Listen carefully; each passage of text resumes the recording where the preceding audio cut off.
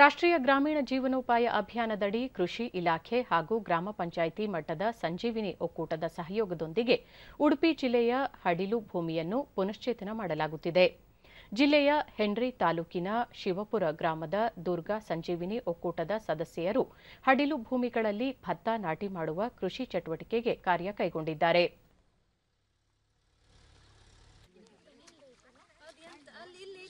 ಎರಡನೇ ವರ್ಷದಲ್ಲಿ ಹತ್ತು ಎಕರೆ ಡಿಡಿ ನ್ಯೂಸ್ನೊಂದಿಗೆ ಸಂಜೀವಿನಿ ಸಂಘದ ಸದಸ್ಯೆ ಸುಗಂಧಿ ಜಿಲ್ಲಾ ಹಾಗೂ ತಾಲೂಕು ಪಂಚಾಯಿತಿ ಈ ಹಡಿಲು ಭೂಮಿ ಕೃಷಿಗೆ ಸಾಕಷ್ಟು ಸಹಕಾರ ನೀಡುತ್ತಿದ್ದು ಹಂತ ಹಂತವಾಗಿ ಕೃಷಿ ಮಾಡುತ್ತಿದ್ದು ಈ ಬಾರಿ ನಲವತ್ತು ಎಕರೆ ಭೂಮಿಯಲ್ಲಿ ಭತ್ತ ಬಿತ್ತನೆಯನ್ನು ಮಾಡಲಾಗುತ್ತಿದೆ ಎಂದು ತಿಳಿಸಿದರು.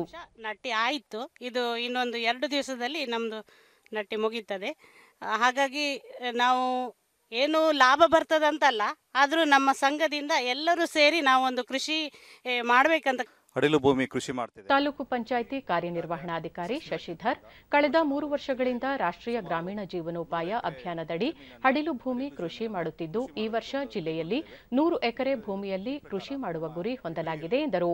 ಒಂಬತ್ತು ಪಂಚಾಯತಿಯಿಂದ ಸರಿಸುಮಾರು ತೊಂಬತ್ತು ಎಕರೆ ಜಮೀನನ್ನು ಈ ವರ್ಷ ನಾವು ಅಡಿಲು ಕೃಷಿ ಮಾಡ್ತಿದ್ದೇವೆ. ಈ ಸ ಇದರಲ್ಲಿ ನಮ್ಮ ಸ್ವಸಹಾಯ ಸಂಘದ ಸಂಘದ ಪದಾಧಿಕಾರಿಗಳೆಲ್ಲ ಆಕ್ಟಿವ್ ಆಗಿ ಪಾರ್ಟಿಸಿಪೇಟ್ ಮಾಡ್ತಿದ್ದಾರೆ.